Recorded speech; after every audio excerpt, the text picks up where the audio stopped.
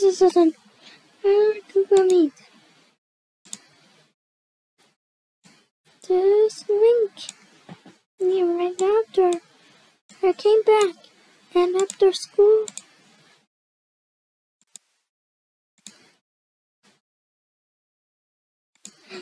Cause Google Meet